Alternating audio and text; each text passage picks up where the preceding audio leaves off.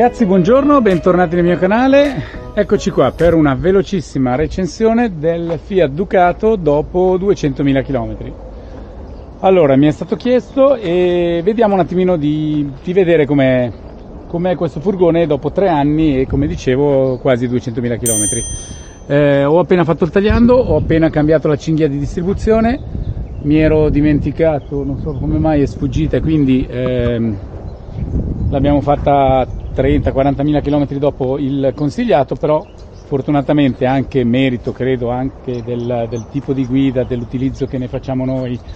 Eh, io lo uso personalmente e vado molto piano, cioè cerco comunque di, di, farci attenzione e raccomando a chi lo usa di utilizzarlo con, eh, con criterio, perché i mezzi comunque, se usati bene, eh, durano nel tempo. Per cui, visti, visti i chilometri in tre anni, eh, andando con un'andatura eh, giusta si, si, conservano meglio i mezzi.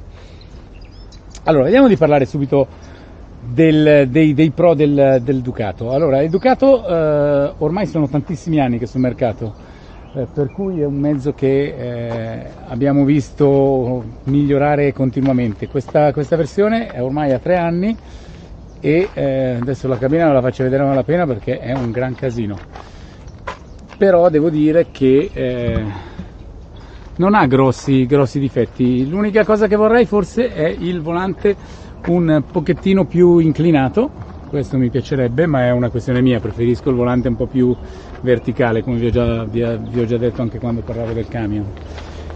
E, ehm, per il resto in cabina mi piacerebbe avere qualche, qualche, vano, qualche vano in più ad altezza cruscotto dove mettere le cose il telefono, le chiavi e altre cose. Eh, però anche questo, ripeto, cioè non è che non ci, sono, non ci sono vani, però trovo sempre che non siano mai abbastanza.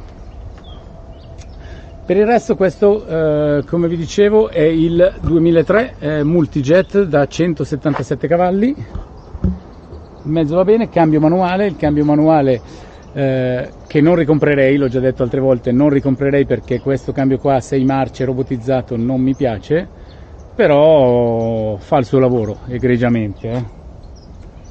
assolutamente. Mm, niente da dire, ha avuto qualche problemino, ma più che altro elettronica perché eh, è bastato un reset, spegnere riaccendere dopo qualche minuto anche se è successo soprattutto inizialmente, più all'inizio, un paio di volte, due o tre volte di comunque trovarsi la marcia bloccata, è situazione poco gradevole, ma purtroppo oggi con l'elettronica sono cose che succedono sempre più spesso, per cui spesso basta staccare la batteria o spegnere e riaccendere. Per cui anche il cambio, come vi dicevo, non, non ci possiamo lamentare. Andiamo a vedere quelli che ritengo i veri e propri difetti, che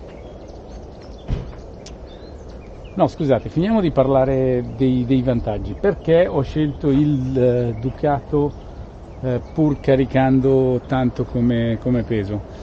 Eh, ho preferito il Ducato al, al Daily ai mezzi con trazione posteriore, primo perché è maggiore la portata. Comunque non sembra, ma questo porta 1450 kg e non sono mai abbastanza, per cui la portata è la, la prima cosa poi abbiamo un, eh, come potete vedere, un passo abbastanza lungo e uno sbalzo corto, per cui anche qui la eh, distribuzione dei pesi rimane ottimale, anche se andiamo un po' a perdere di inagilità, perché i mezzi con trazione posteriore normalmente hanno anche davanti le ruote che sterzano molto di più, magari spesso hanno passi più corti e sbalzo un po' più lungo, ma c'è di tutto, quindi sto parlando di quello che del, rispetto al Daily ad esempio che avevo, che avevo prima, questo lo trovo meglio per quello e anche perché io comunque d'inverno come avete visto ogni tanto incontriamo la neve e eh, col mezzo carico chiaramente la trazione anteriore rimane leggermente penalizzata ma comunque ha su del peso.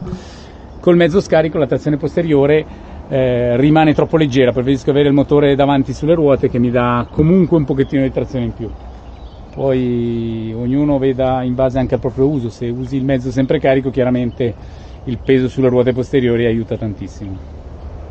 E altra cosa, come vedete, chiaramente rimane più basso il mezzo, di conseguenza abbiamo un gradino più, più agile per salire, però anche quello io carico principalmente col muletto, quindi alla fine non mi fa grossa differenza, ma se scaricate continuamente a mano sali scendi, chiaramente rimane vantaggioso. Andiamo a parlare dei veri e propri difetti, perché comunque eh, ci sono un paio di cose che gli ingegneri dovrebbero andare un attimino a rivedere e spero che prima o poi lo faranno. Allora, il primo difetto, vedete là in cima c'era, su quello precedente avevo la telecamera, lì sopra. Era molto sporgente perché forse erano le prime, c'era tutta la parte di plastica che veniva fuori parecchio per poter andare a vedere bene il fondo e, e col muletto me l'avevano urtata, me l'avevano rotta più volte la plastica e oltre che eh, lo schermo della telecamera rimaneva in alto al posto dello specchietto interno e chi usa un furgone abituato a lavorare molto, guidare molto con gli specchietti, se guardi negli specchi non puoi guardare al centro, per cui non mi piaceva. Eh, abbiamo scelto i sensori di parcheggio, ma qui abbiamo la prima criticità che poi molti risolvono in aftermarket, però non ha senso, dovrebbe essere già fatto così. Vedete, questa eh, è plastica questa è plastica. Purtroppo eh, caricando con i muletti spesso ci si va contro e come vedete in questo caso un sensore è rientrato adesso non funziona. Quindi tutte le volte devo andare a sistemarlo io. E questo molti vedo che appunto mettono dell'alluminio che protegge perfettamente i sensori però dovrebbe essere una cosa fatta di serie secondo me. Altra cosa di cui, altro difetto, che questo invece è veramente pesante, non mi piace proprio, è, eh, vediamo di aprire la porta, vi faccio vedere, allora, scusate, eh, dovevo prepararmela prima, allora, andiamo ad aprire la porta. Come vedete, Qui abbiamo un bancale, quel bancale è largo 110, le misure standard dei bancali sono gli EPA l'80-120 e eh, ormai sono diventati 110 x 130, per cui la porta dovrebbe essere circa 120, come vedete il bancale entra, però ehm, vedete vi faccio vedere qua avete questo rigonfiamento che serve chiaramente per dare un po' più di spazio alla cabina va a, a, togliere spazio quando il bancale eh, fosse alto. Se questo bancale fosse tutto dritto, vedete che alla fine io tutta questa parte qui la vado a perdere. Di conseguenza, vedete, col muletti alla fine finiscono spesso per sbatterci. Questo è stato il muletto e questo anche.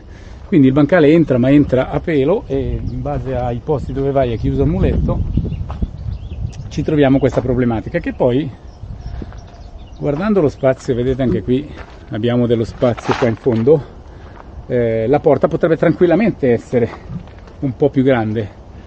E come dicevo essendo i bancali ormai standard eh, basterebbe poco lo fai una volta fai la porta 130 e poi certo mi direte arriverà quello che dice allora io lo voglio mettere per largo. No va bene.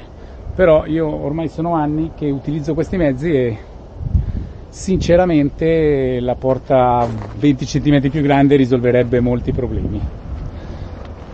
Questi sono gli unici due veri difetti che trovo, che trovo nel furgone. Per il resto, come vi ho detto ragazzi, 195.000 km, 200.000 comunque, consideriamoli, e il mezzo va veramente bene. Se usato con, con criterio eh, superiamo gli 11 km con un litro, eh, calcolando che ha 180 cavalli direi che eh, comunque ci sta, è un buon consumo. Come, come, avete visto nel video del consumo naturalmente cioè, se schiacciate questo va e consuma, ma l'utilizzo dei furgoni un po' troppo allegri io lo, lo condanno perché non è il modo di utilizzare e di far durare un mezzo. Va bene, spero che questa breve recensione vi sia piaciuta. Guardate in che bellissimo ambiente siamo, eh, quello è il Ticino, quello là sopra l'autostrada 26. A questo punto vi chiedo di iscrivervi al canale, lasciare un like e commentate se avete delle domande, sarò felice di rispondervi. Altrimenti ci vediamo al prossimo video. Ciao ragazzi!